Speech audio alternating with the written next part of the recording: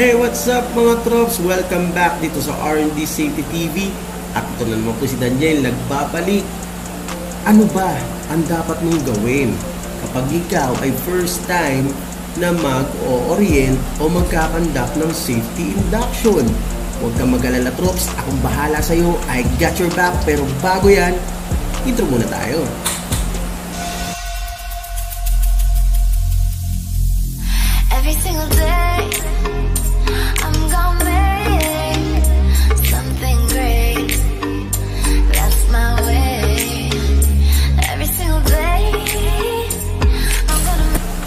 Is it your first time to conduct a safety orientation or safety induction? Well, don't you worry, my friend, because I got your back. Today, I will teach you the top 10 tips or hints for you to pull off a safety orientation properly and effectively.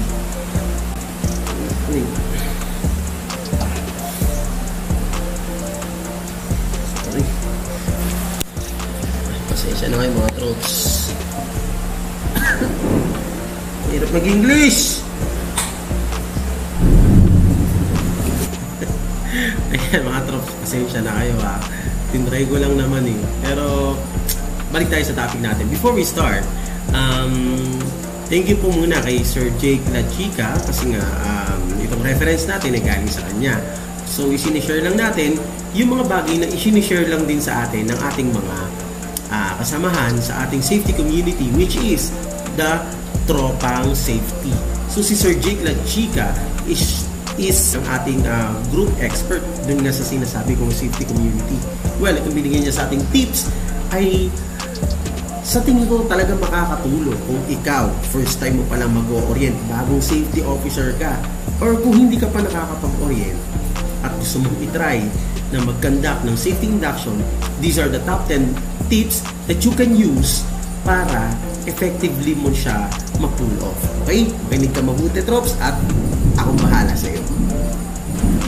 Okay, bago tayo magpatuloy, yung mga shoutout, mga Trops, sa bandang dulo na lang muna ha para maabangan nyo rin, para matapos nyo itong video na to bago nyo makita yung pangalan nyo, okay?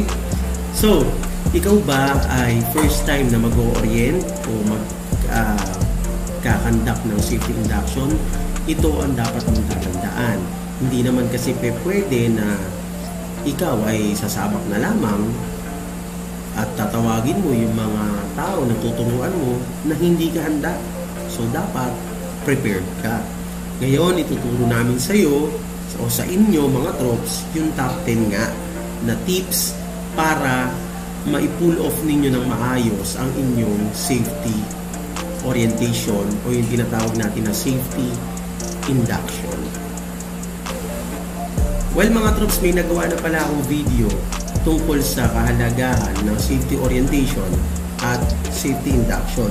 Ilalagay ko na lang din sa description box sa baba yung link para mabisita nyo rin at mapanood ninyo. So let's proceed na po doon sa ating top 10 list.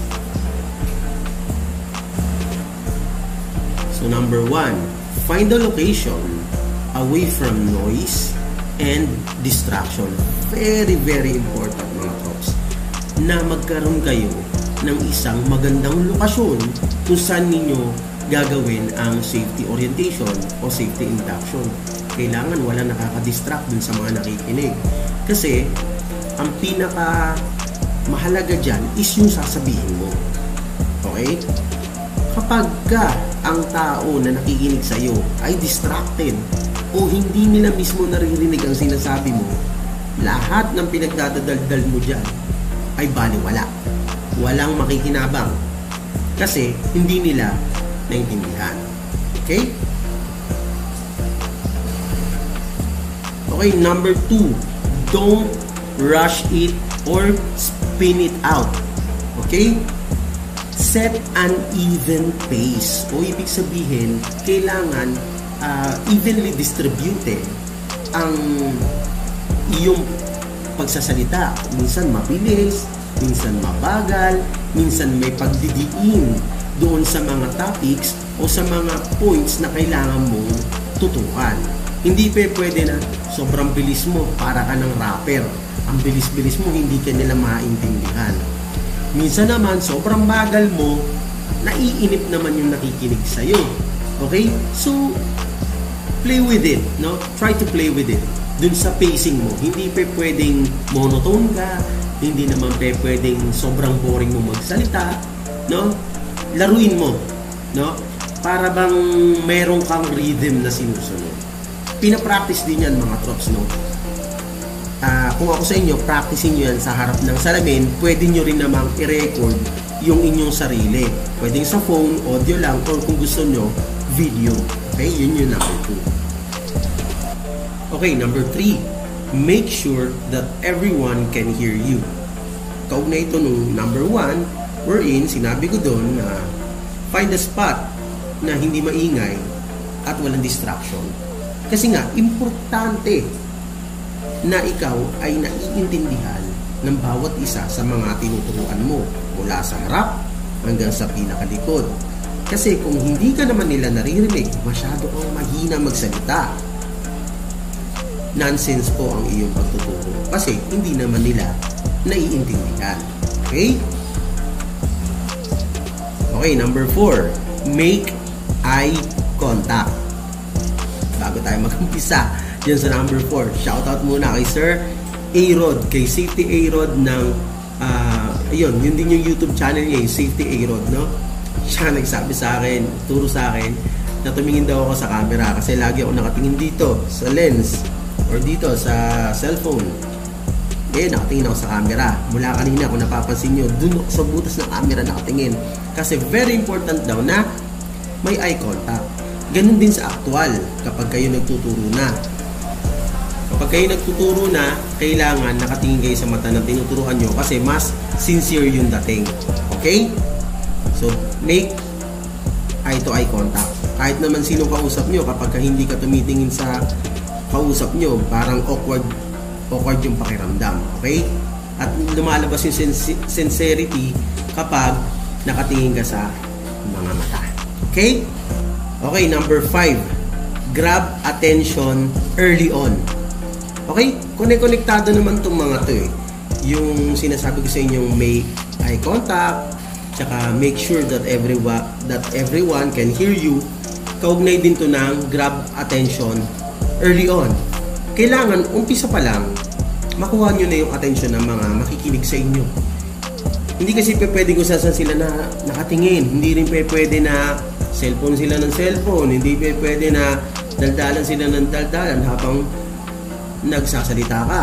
No? Kasi tinuturuan mo nga sila eh. Kailangan malinaw sa kanila umpisa pa lang na ikaw ang in charge doon sa discussion. Pwede ka namang gumawa ng sarili mong rules eh. Doon sa discussion, pwede mo sabihin na habang ako nagtuturo, ayoko may nakikitang nagse-cellphone dyan. Ayoko may nakikita na may nagdadaldalan dyan. Total, sila naman, karamihan, applicant din naman yun. Susunod naman talaga sila sa'yo. Pero, make sure lang na sabihin mo ito ng malumanay at maayos na hindi ka naman nakaka-offend. No? Sasabihin mo lang na, bago tayo mag-umpisa, please pakitago ang mga cellphone para wala pong distraction. Ganun lang. Okay? Yun yung number 5. Grab attention early on. Okay, number 6. Be confident but avoid confrontation. Okay? Magkaiba yun ha. Iba ang confident, iba din yung masungit, iba yung mayabang, okay? Ang confident na tao is alam niya lang kung ano yung sinasabi niya.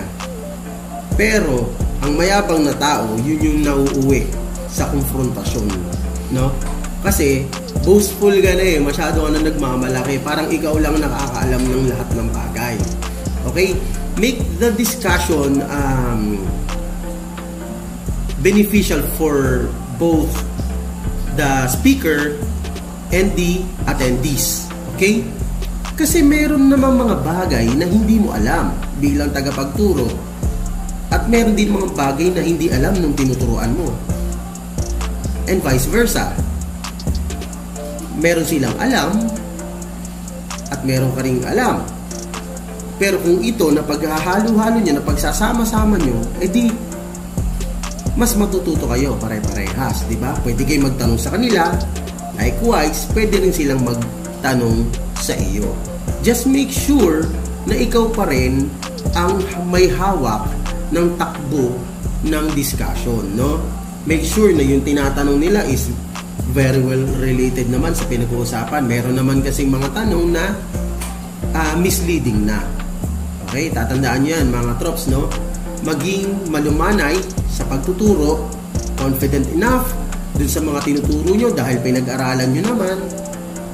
But, not to the extent na masyado na kayong uh, mayabang magsalita. Na para bang kayo lang ang nakakaalam ng mga tinuturo nyo. Kasi may times na alam din naman nila yun. Minsan nga, mas alam pa nila kung ano yung tinuturo mo. So, be humble. Okay? Okay, number seven, keep to the point and your plan. Okay, make sure na kung ano yung tinuturo niya at that certain period of discussion, uh, yun lang yung sasabihin niyo. Okay? Huwag kayong mag spoil ng ibang part ng discussion kung hindi naman necessary. Well, uh, it happens sometimes kung kailangan, pero mas maganda kung kung ano yung pinag-uusapan nyo that moment, that certain period of discussion, ay yun lang. At iwasan yung mga tanong from the attendees na sinabi ko kanina, misleading. Dapat yung tanong nila is very well related doon sa inyong topic. Kasi nga, ikaw mismo, pinipilit mo rin naman na mag-stick doon sa topic ninyo at that moment. Okay? Okay, number 8. Keep it simple. Very self-explanatory naman yan, eh, no? Kailangan hindi masyadong komplikado yung iyong pagtuturo.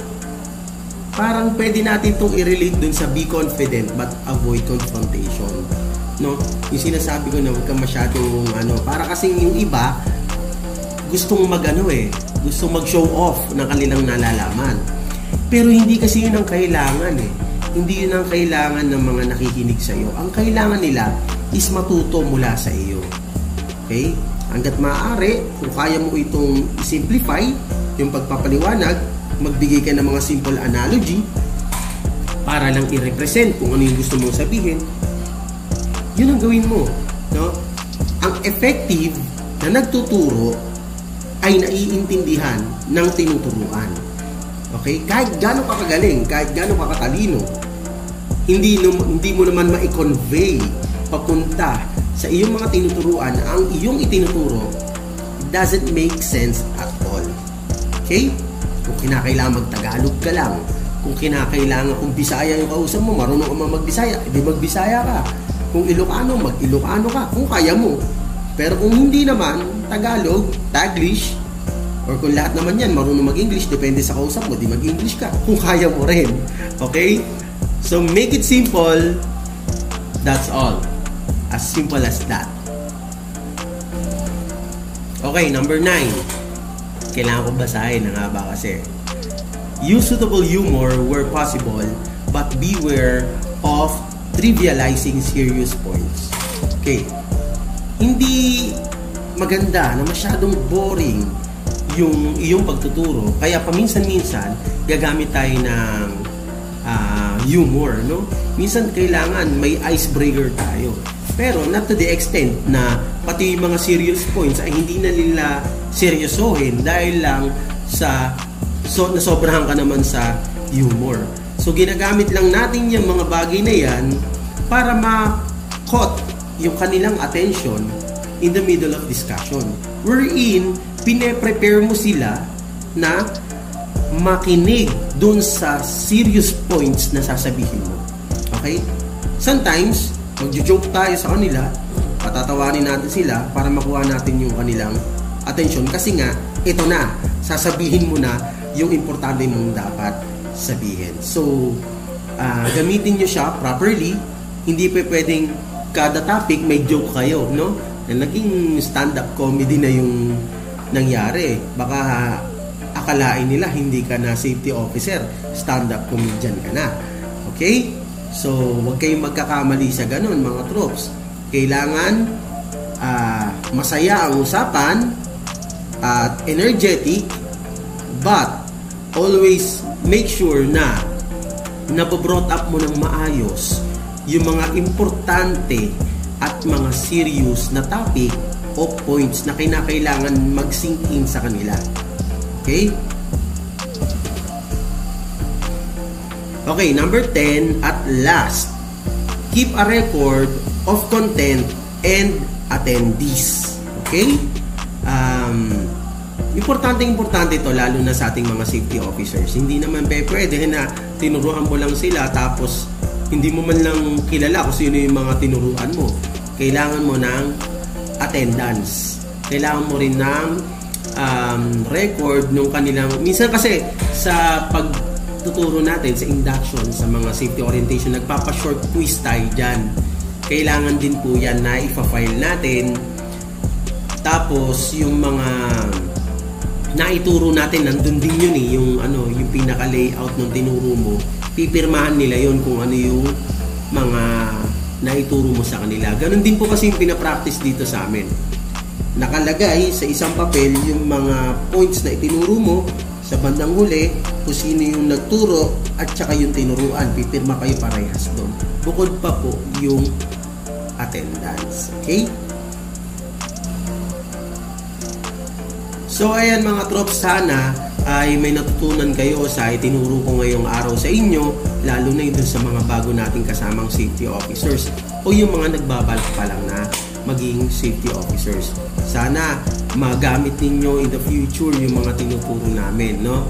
At kung nagustuhan ninyo itong video na to mga troops, favor naman, paki-like naman yung video. At kung may natutunan nga kayo, paki-subscribe na rin. Pwede nyo rin itong i-share dun sa mga kasama nating safety officers o yung mga kasama nating nagbabalak na maging safety officers. Kung kayo naman may tanong at meron kayong topic na gustong pag-usapan, pwede nyo rin naman i-comment sa baba. No? I-type nyo dyan, gusto nyo rin mag-shoutout, pwede rin kayo magpa-shoutout dyan. Kung gusto nyo shoutout po kayo next time, type nyo lang din dyan. At bago tayo matapos, yung paraffle ko next month, first week yata ng August, magpaparaffle ulit ako. Kung gusto nyo sumali, pwede din kayong sumali, okay? Tapos, punta na po tayo ngayon sa shoutout. Okay mga trops, para sa shoutout, wag po sana magtatampo yung mga hindi ko mababanggit kasi meron pa naman pong next time. So, ngayon, ang mga isa-shoutout ko po is syempre number one, si Sir Jake La Chica na nagbigay sa atin ng reference ng ating topic for today. Si Sir A-Rod uh, ng Safety, Safety A-Rod TV or Safety A-Rod YouTube channel at si Sir Abaddon Lapasaran, si Spikes and Fur na thank you sa shoutout po ah si Sir Aldwin Pasqua, si Sir Benji Gandeza Jr., si Teacher Lola, yung aking nanay, Corazon Vismanos. Maganda rin po yung content niya. Nagtuturo siya sa mga toddlers, sa mga mommies, uh, para kung paano nila tuturuan yung kanilang mga anak. Okay? At yung tatay ko, si Papa Bernie, pagaling ka po, may sakit kasi si Papa, pero uh, umiigi na siya ngayon. Sino pa? Um, Sir Dennis Labay. Okay? Si Sir Eric Panday, brother. Eric Panday. Uh, si Sir Erwin Pandaan. Si Sir Gary Caliao. Si Sir James Azurin. Si Sir Jeffrey. Sir Jeffrey. Um, Jeffrey Escalona. Uh, salute sa iyo, sir. Lagi tayong nakasupport sa isa't isa, okay? Si Sir Jet Silaroy, si Sir JP, Domus, si Sir Joey Yap, at si Sir John Peralta, si Sir Julio Cesar Karin, si Ma'am Karina, si Ma'am Maribel Yuki, si Sir Michael Camporaso, si Sir Nel Losanta, at si Ma'am Rain. Okay? So, yun lang po muna. Next time, yung iba naman po. Okay? So, sana may natutunan kayo sa aming vlog for today. Always remember na dito sa R&D Safety TV, we don't just vlog, we teach. Basta R&D Safety TV, safety first.